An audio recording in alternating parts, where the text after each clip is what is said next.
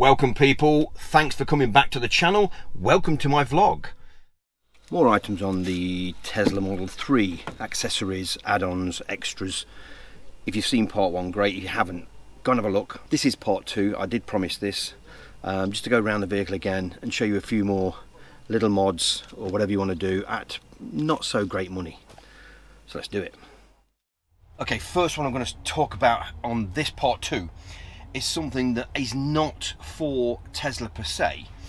The Model 3 has got a great, or not so great, Sentry mode. It has a decent built-in dash camera to the front, which if you bib your hooter, it will record. Um, and on other things. It's even got a crash camera. Just above that mirror there is an actual camera. Don't think it's picking it up, but anyway, moving on. Yeah, so cameras everywhere on these Teslas. Now I've just sold my BMW i3 and in that little i3 I had uh, a front aftermarket camera and a rear aftermarket camera which were always on. They never went off. Uh, and I wired them up straight from 12 volt sockets boom boom boom hidden it all in the plastics and, and did that. With the Tesla it's a bit more difficult because there ain't no 12 volt sockets in the back like there was in the i3 so I've had to like use the front put the wire through underneath up here underneath the seat and back into the, the rear. Now I've done this because I've noticed since I've had this car, I don't know what it is about BMW fossil drivers and, and, and some other brands, but I, I, they do stick out to me more than anything else. They seem to be right at me, either right up your bum, as they say here in England, uh, your backside, or they kind of brake a bit harder when you're behind them. Sorry BMW drivers, I know it's not all of you, but it, it is a few. Um, very strange. So I wanted this camera in the back so that I had that security option because I have been involved in a very small accident before and it was I was like I went into the to the back of somebody. Luckily I had cameras and he was brake checking me. Brake checked me three times actually. Went through the insurance company uh, and I will mention them Tesco who were very very good uh, and they made him pay for all the damages on both cars and wouldn't pay out, uh, his insurance wouldn't pay out whatsoever. So that was a great one to win. And that was purely because I had cameras front and back. I seen him coming up my back. They see what they saw what speed he overtook me. They saw exactly what he did in front. So this is why I put this camera in here. Let me let me show you how I've done it. In here, there is a 12 volt socket. So I bought one of the cheapest full HD cameras. It's not 4K, but it's, it's a very sharp picture for what it is. It's Binatone. I got this from Argos and I have this in my BMW i3 and I've not used it for about six months. Got it out, plugged it in here and you see the wire going back and it's through through that corner there, look. Not getting squashed at all. It then, it leads down here. This is the only bit of wire that you can see and I can't really lose a great deal of it. I could pull it back and lose some of this further under there but I didn't know how much I'm going to want for this. So it goes under there under the carpet and then under this back seat. Now let me just show you something that's very easy with Tesla back seat removal. Down here there is little white pushing levers. Can you see them? They push it in and it ejects the seat up. Easy to do and really good a good idea. So they're the two white clips. Once you push the white clips up, this seat lifts out. They're a devil to get back in. But underneath here, underneath the rear seat, there is some very smooth steel. So you're not going to jar or cut any leads. So I just wired it underneath the seat, took this one back, it goes up the back here, and then trails out, believe it or not, the seatbelt hole. Threaded it through there, very simple and then the other bit of wire you can see is that and then there is the Binatone which comes on as soon as you enter the car. That's the Binatone dash cam. Any will do but I do recommend a little Binatone because it's cheapness a very wise thing to put in. Okay number two. Now this is something I should have mentioned on part one and I didn't because I did mention here these okay? These scuff plates like carbon fiber style finish if you can hear a, a buzz in there it's my aircon on because it's a warm night so let me just explain what I didn't explain in part one I have the rears. The rears fold round all the way around to here, come underneath the seat and again flush into this rubber seal and finish quite well here on the joint. And again, it says Model 3 on it. Again, a pair.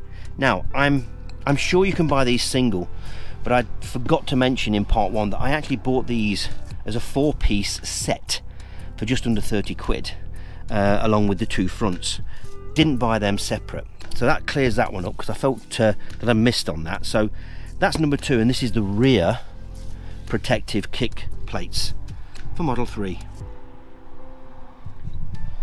Okay, number three uh, up next is a, an interior again. Um, didn't mention it on part one again because I bought it as a separate item. You can buy this as a three part piece with two other items I did mention in part one. Simply rubber inserts for your cup holders. Okay, very easy to take out, although this has been difficult. There you go. So there's the originals as it looks with the Tesla Model 3. This is the rubber insert cup holder. What it does, it just tightens the the gap on these for more of a, of a UK size cup, uh, even the tall ones. Um, so yeah, and also in the middle of this, you've got like a little container, which is quite nifty. Get your pound coins in there, hidden away if you wanted to, or any change or whatever. Um, but that just knocks back on there and then they simply go in there um, depending on how you get it in there is a, a, tiny gap around it not normally but that's probably the way I put it in. But yeah rubber cup holders. Also if you spill anything dead easy to get out because you can just take it out get rid of the spill and it's not going to affect all your original middle console. So that is number three. And again Amazon if you need to eBay whatever. Nice little nifty bit of kit. Again focus, staying with the interior, you've probably just noticed something else that was across my centre console that wasn't in before. It's something I wanted and I waited till they were on offer because their normal price of what I'm going to show you in a moment is around 55 quid delivered. I didn't want to pay that. So I waited till they were down to 45 pound, tenner off. Again, free delivery, again, next day delivery if you've got Prime from Amazon. Let me show you this one. This baby here. Now, in here, and you've seen all my goodies before, in here at the bottom of this, there are two USB-Cs. That is now completely filled in with this cable that comes up here, look, to this.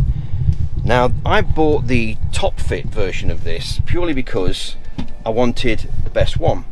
Looked at the reviews and it, turns out that the top fit fits nicely and it's got the blue haze around here.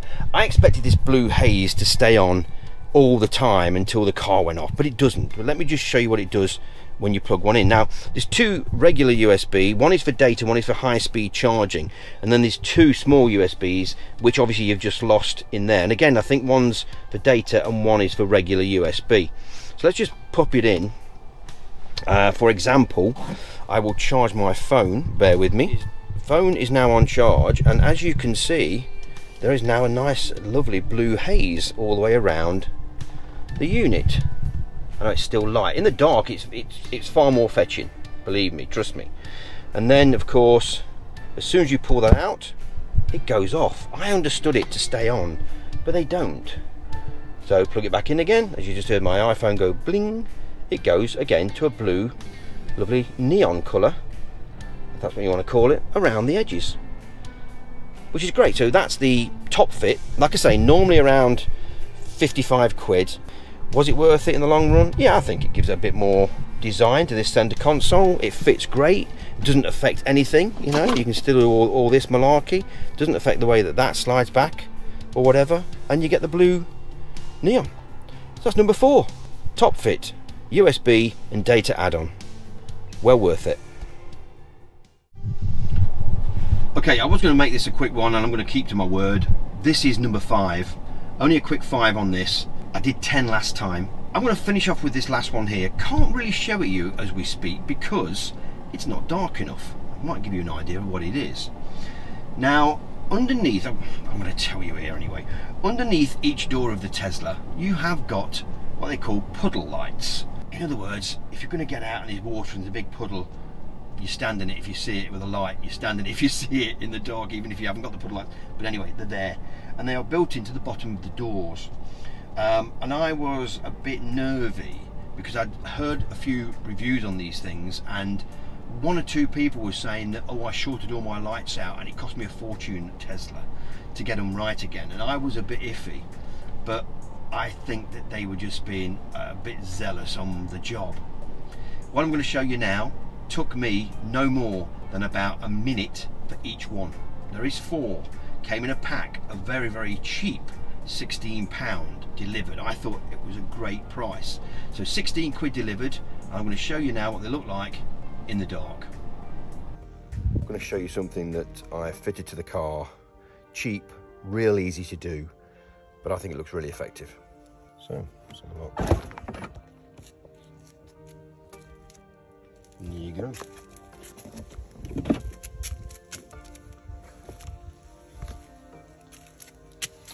The same on all four doors.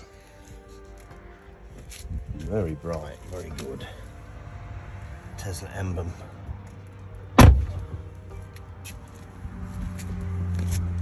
And be even darker if the uh, my outside light ain't come on. There you go. So yeah, well worth the fit. So I will go on to unlock a port. There you go, that's better look now, you can see them in the dark. Super bright. So let's take this out. And there you go. Off it goes. That is another five to the collection on extras, add-ons, accessories on the Model 3. Hope you get something from it. Hope you go and maybe buy one. Uh, if you didn't like all five, I apologise dearly. Like I say, one out of the five was a universal product, nothing to do with actual Tesla, but I do recommend you go and have it put on the vehicle or just buy it yourself. Thread it through, like I said, that rear uh, camera very useful thing. It just backs up everything else in case anyone's being a tart at the back of you. And there's plenty of them on the road, folks. Thanks for watching again. If you're not subscribed, why not? Where you've been, I always say that. If you have any comments, please, please drop below. I always answer them, always try to. But hopefully you're enjoying the content. We'll see you again very soon. Meantime, get out of here.